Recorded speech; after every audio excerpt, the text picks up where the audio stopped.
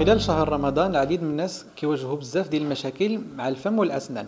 من بينها اصفرار الأسنان وهذا المشكل راجع عن تراكم الملونات الغذائية أو البكتيريا على سطح الأسنان. بإمكاننا نتفادوا هذا المشكل عبر غسل الأسنان بالفرشاة والمعجون بعد فترة وجبة الفطور ووجبة السحور. المشكل الثاني هو نزيف اللثة. هذا المشكل هو ناتج عن تراكم البكتيريا فيما يسمى la plaque dentaire أو le tartre.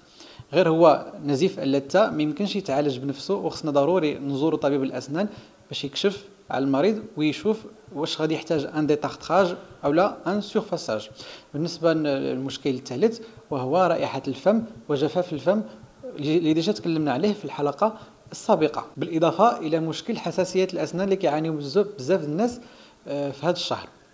اللي يقدر يكون السبب ديالو هو les hyperesthésies dentinaires اللي هو مشكل ناتج عن تراجع مستوى اللثه أو عن وجود واحد الجيوب بين الأسنان واللثه وهو عموما كيتعالج بواحد النوع خاص من معجون الأسنان وب les bains de bouche. ولكن هذه الحساسية تقدر تكون علامة عن وجود تسوس في الاضراس بين الأسنان وبالتالي فخصنا نتوجهوا عن طبيب الأسنان باش يفحصنا ويعمل الأشعة ويعرف ويكشف آه، وتواجد هذا التسوس اللي كيعطي الحساسية ديال الأسنان.